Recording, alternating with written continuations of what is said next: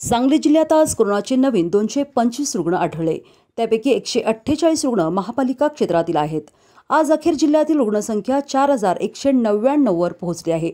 आज जिल्ह्यातील नऊ आणि परजिल्ह्यातील दोन अशा अकरा जणांचा आज कोरोनामुळे मृत्यू झाला.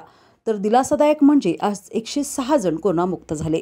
जिल्ह्यातील रुग्णसंख्येनं आज चार हजाराचा टप्पा ओलांडून चार हजार एकशे नव्याण्णवपर्यंत ती पोहोचली आहे.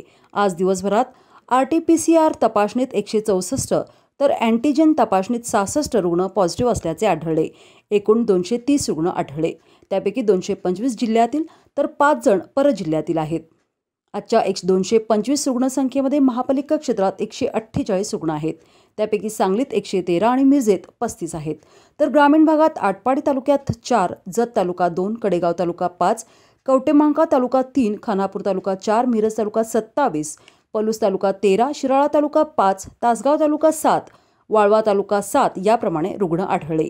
आज सांगलीतील खणबाग येथील बासष्ट वर्षीय महिला व ऐंशी वर्षीय वृद्धा यांचा मृत्यू झाला.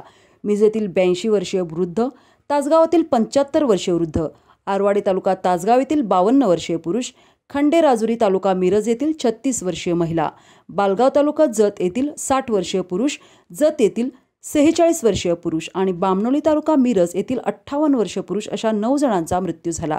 तसेच अर्जुनवाड तालुका शिरोळ येथील पन्नास वर्षीय पुरुष व जयसिंगपूर येथील पासष्ट वर्षीय पुरुष अशा परजिल्ह्यातील दोन रुग्णांचा मृत्यू झाला.